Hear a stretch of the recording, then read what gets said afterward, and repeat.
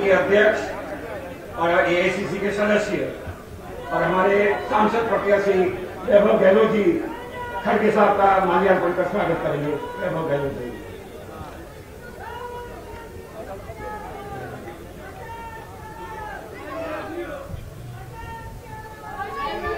तो नामांकन से पहले सीएम ने अपने बहन से आशीर्वाद भी लिया था। आज एसडीएम कार्यालय पहुंचकर नामांकन दाखिल भी किया। उम्मीद स्टेडियम के स्टेज की ये तस्वीरें हम आपको दिखाया दरअसल दो तस्वीरें दिखा रहे हैं इस समय टीवी स्क्रीन पर। पहली उम्मीद स्टेडियम के स्टेज की, जहाँ पर आपको मुख्यमंत्री अशोक गहलोत साफा पहने हुए नज़र आ रहे हैं। दूसरी तस्वीर है मल्लिकार्जुन खड़गे की, जो कि कांग्रेस के अध्यक्ष हैं।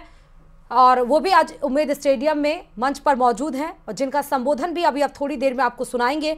दूसरी तस्वीर है मुख्यमंत्री अशोक गहलोत के एसडीएम कार्यालय के अंदर की, जब वो नामांकन पत्र अपना कलेक्ट्रेट को सौंप रहे थे। अभी आपको गोविंद सिंह डोटासरा, क्या बोलते, क्या कुछ वो बोलते हैं, वो आपको सुनाते हैं। आदरणीय श्री खड़गे साहब का राजस्थान में, जोधपुर ज़िले में माननीय मुख्यमंत्री अशोक गहलोत जी की नामांकन सभा में पधारने पर तमाम कांग्रेस पार्टी के कार्यकर्ताओं की ओर से बहुत बहुत हार्दिक स्वागत और अभिनंदन करता हूँ। माननीय मुख्यमंत्री अशोक गहलोत साहब, हमारे एआईसीसी सेक्रेटरी वीरेंद्र सिंह जी राठौड़ साहब, हमारे नासिर साहब एआईसीसी से जनरल सेक्रेटरी हैं हमारे तमाम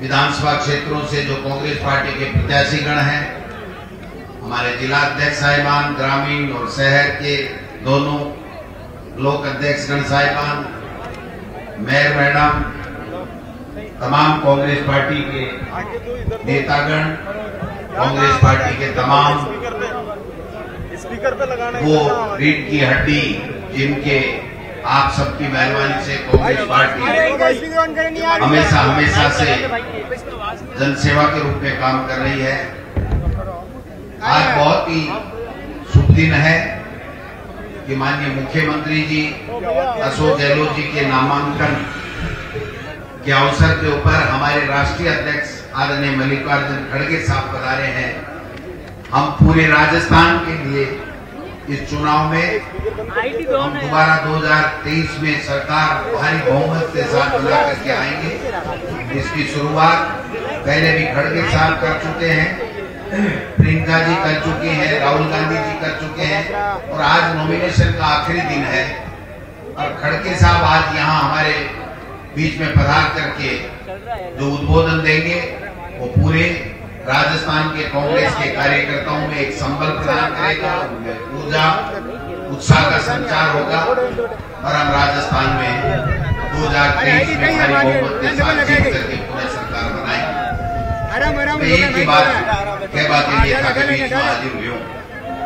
जोधपुर के लोगों ने, राजस्थान के कांग्रेस के कार्यकर्ता ने एक निवेदन करना चाहूँगा कि पाँच साल में अशोक गहलोत जी के नेतृत्व में सरकार कोई काम करने में कोई कसर को नहीं छोड़ी।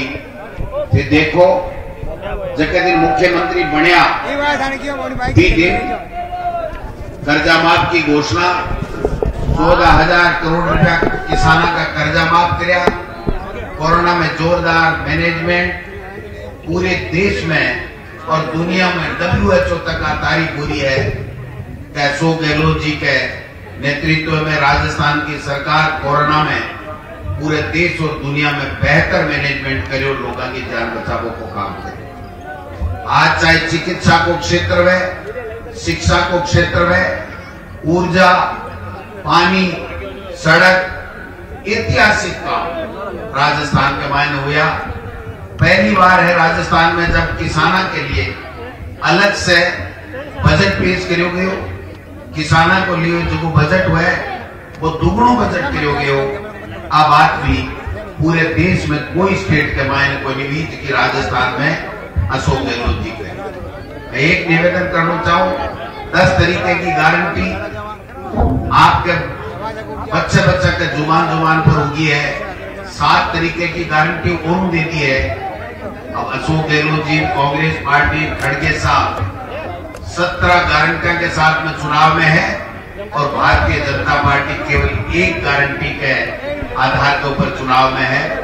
वह गारंटी है, कोई भी नेता दिखे जगह के ईडी भेज दो इनकम टैक्स भेज दो, ये बात की गारंटी भारतीय जनता पार्टी खड़गे साहब, मैं आपने निवेदन करना चाहूँ।